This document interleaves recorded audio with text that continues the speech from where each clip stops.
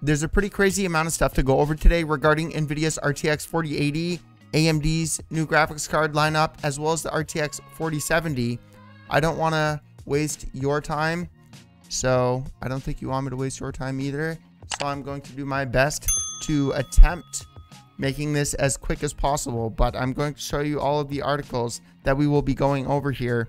There's a lot of them, so I hope that you can understand that this is not necessarily going to be the easiest thing to make a quick video about. So this right here, how does AMD's Radeon RX 7900 XTX compare to the NVIDIA RTX 4080? The reason that I'm covering this is because of yesterday's video of me going over the RTX 4080, the benchmarks that we got for that in comparison to AMD's graphics cards, and me just kind of saying that it sucks that we have to pay nearly twice the amount of money for NVIDIA's graphics cards if you are a creator. I am not saying that AMD is bad by any mean. For gaming specifically, they're fine. So if all you want to do is get a graphics card for playing video games, then you're going to be perfectly fine getting the 7900.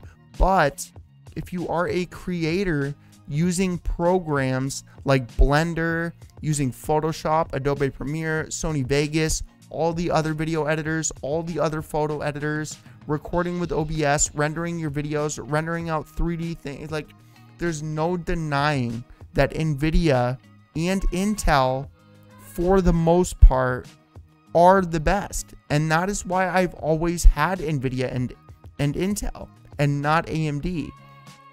I take that back. That is why I've never kept anything that is all AMD. AMD's processors have come a very long ways, and their processors are great. But as far as their graphics cards go, man, like they have a long ways to go. Like they're, I'm just, I, and I'm not trying to be disrespectful towards AMD because I get it. People are going to say, and I hope that you guys are all reading the information that's on screen here as I'm like kind of talking about this. I just want to make this video an hour long. So the one thing people are going to say here is that you can't compare a Honda Civic to a Lamborghini. And I agree with that. But Honda, they have their NSX, the Acura NSX, but Honda owns Acura. So I so like yes, they have cheaper options, but they also have the NSX, which performs very, very, very similar to a Lamborghini Huracan, but it's still cheaper than a Lamborghini Huracan. So, yes, I understand that statement of people saying that you can't compare a Honda to a Lamborghini, and that is true. But Honda does offer stuff that competes with Lamborghini.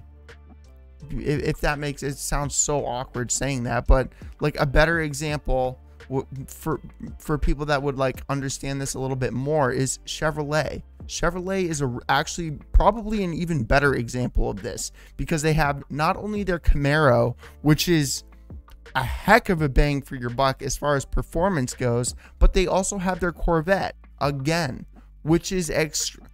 And this is like half the price of a Lamborghini. We're not talking about just a little bit less than a Lamborghini. We're talking like half. Like, so that's a really good example. But anyways, hopefully you guys all read this here. Um, I, I, I really don't want to make this video just as long as yesterday. Um, but anyways, AMD announces their first Radeon RX 7000 GPU at RTX 4080 beating prices. That's really all I need to say about this article. They're just going over the prices in comparison to the RTX 4080 and the RTX 4090 but I need to make a note about this. MSRP does not mean anything anymore. And I think anybody that has tried to do anything with like even consoles right now, like MSRP doesn't mean anything for consoles, even though they are finally going to be bringing those to store. Like these these MSRP prices of AMD and Nvidia plus Intel, all of these MSRP prices, they do not mean anything. So yes, AMD's graphics card is going to be $999 as well as $899. But we're not going to be finding those like I'm going to guess that those are probably going to be around $1200 because they're going to sell out extremely fast. Uh, from so I take that back with AMD because they may not be doing what Nvidia is doing by throttling their freaking GPUs so that they can get rid of the 30, 30 series graphics cards. But as far as I'm concerned, dude, 30 series cards have gone up a lot. They fluctuated a ridiculous amount the past month. Like and uh, the reason I know this is because that's the third PC that I built. I sold the other two. And this is like a, a, cool little side hustle that I have going on, building PCs and flipping them. And that's why I've made that series with you.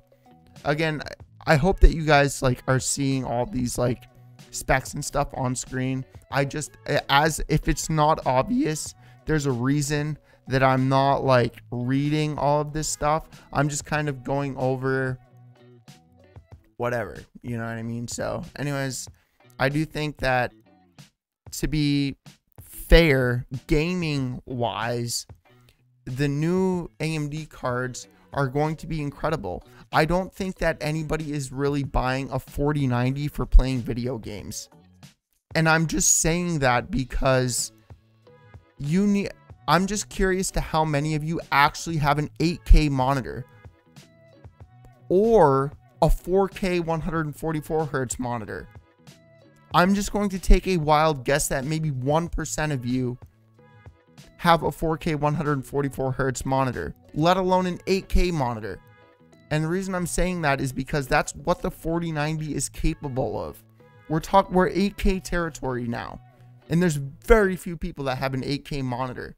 So when you're buying something like the 4090, you're probably buying it as a creator that wants to render out a 10 minute 4K video in under a minute, that wants to use Blender and create these 3D figures and have real time preview of what you're creating. The 4090 is capable of that. That's nothing that we have ever seen in the past. The, the 3D application there in Blender like you can actually see real time. So anyways, right here, NVIDIA's new GeForce RTX 4070 Ti is going to be rumored to be releasing on January 5th, 2023. That's really all I need to say about this article. I just thought that this was cool that they're going to uh, be releasing the 4070 fairly shortly here. Now, this is the the 4080, the 12 gigabyte model that they were going to be releasing, but the amount of backlash that they ended up getting from this, um, rightfully so. I mean, I, I understand that.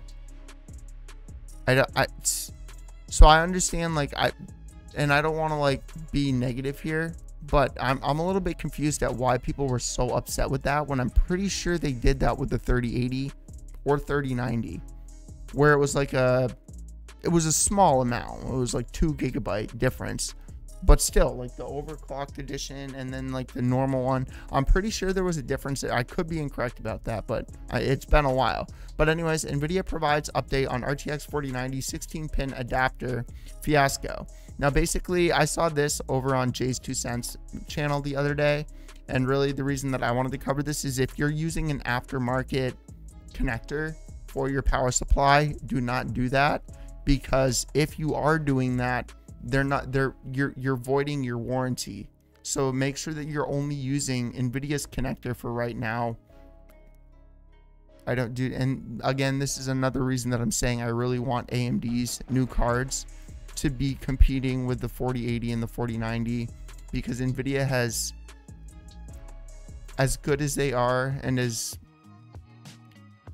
yes, uh, like as as good as they are, there's no denying that Nvidia has sucked over the past couple of years as a company and a business, not their actual product. Like we're, we're talking like EVGA, one of the like most well-known GPU companies out there. They left Nvidia because of how much they suck. So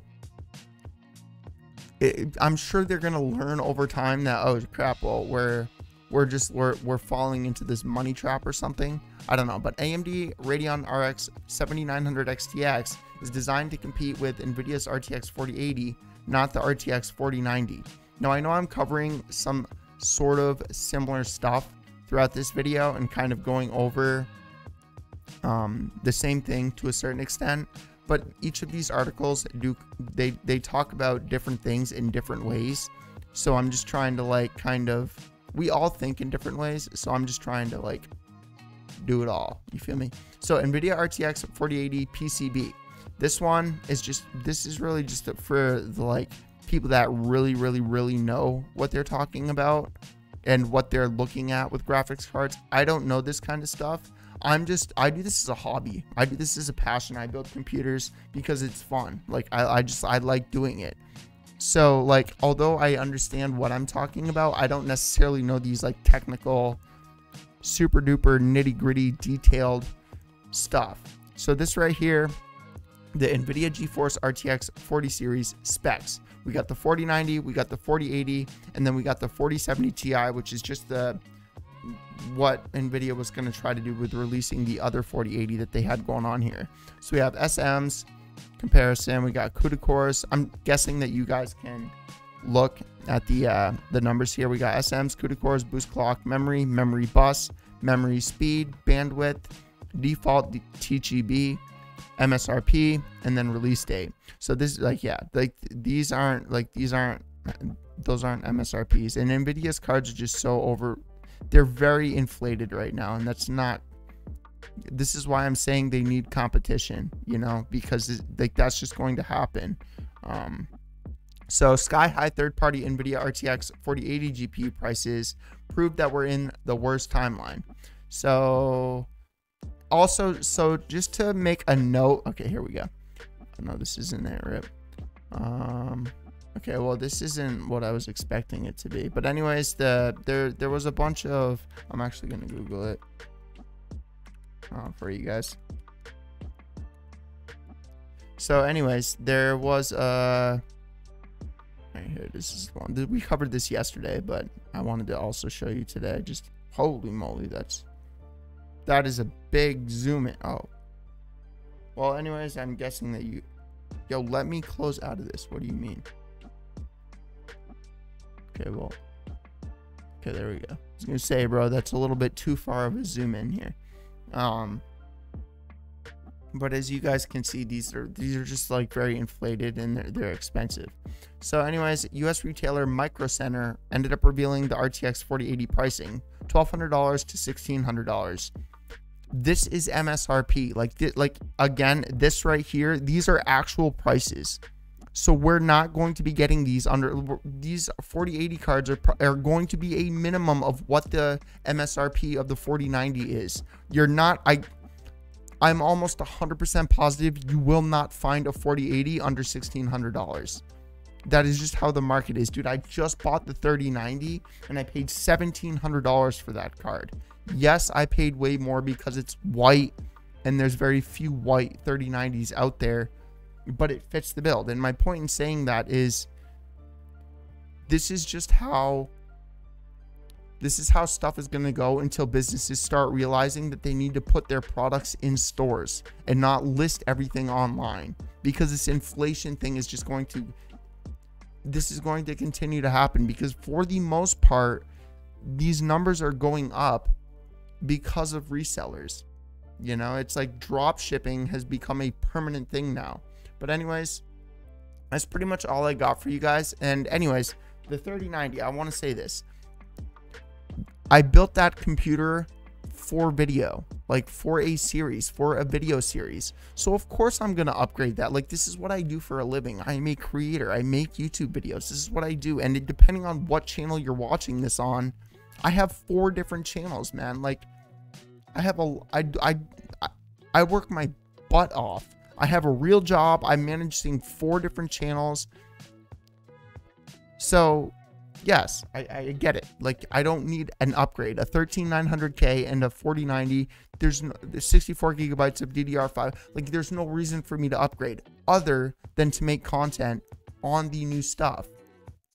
Right? Do a PC build with it. So, like, compare them. Like, that's that's what it's called investing into your business. So yes, to the people that left a comment, I don't need it. I know that. But like there's there's a difference between needing something and investing into what you do. So yeah, throw a thumbs up if you enjoyed this video. Again, I apologize it was so long. There, obviously, there was a lot of crap to go over today. Um, but throw a thumbs up, subscribe, check out one of these videos that are on screen. I will catch you guys in the next one. Peace.